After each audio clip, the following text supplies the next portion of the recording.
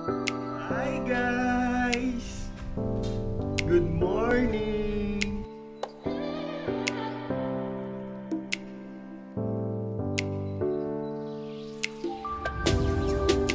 This is samosa, karaniwang inahanda tuwing iftar kapag Ramadan. Ngayong araw, gagawa tayo ng sarili nating version nito. Samahan ako.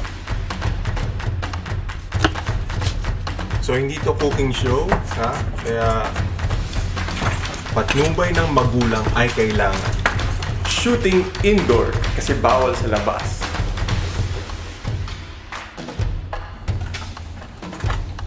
Magsala ka ng mantika at hintayin mo itong uminit. Total naman, sanay ka maghintay sa wala. Kuha tayo ng wrapper. Tapos lalagyan natin ito ng laman. Siguraduhin mo lang siksik. Kagaya ng pagsiksik mo sa taong hindi ka naman mahal.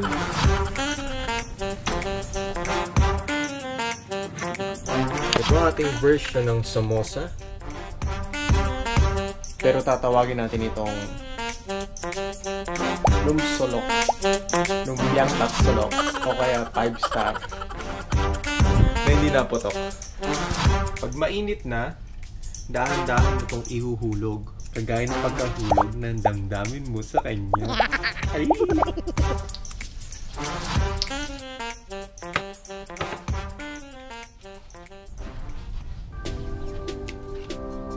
Tama-tama natapos ko na din ang aking mga gawaing bahay.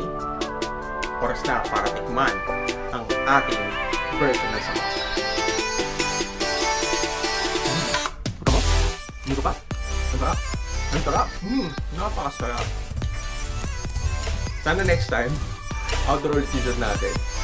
Until then, see ya. 15, 15, 15 lang.